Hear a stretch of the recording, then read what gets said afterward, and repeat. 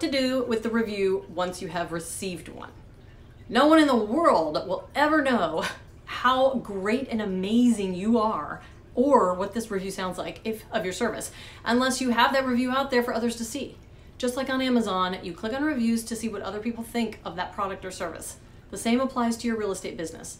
There are many ways and places to send, post, or show your reviews online, but here are a few that will bring you the most value.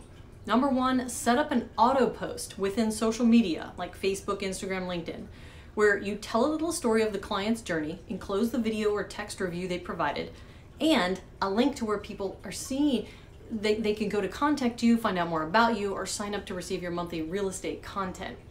Two, upload or submit this review to show up on your own website where you can direct people to go listen or read.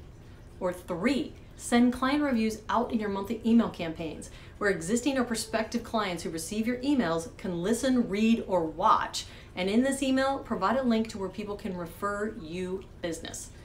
Probably the most effective way to reach more people with your reviews is by building a list and sending out emails, and often including a review as a link or embedded video for people to watch, listen to, or read.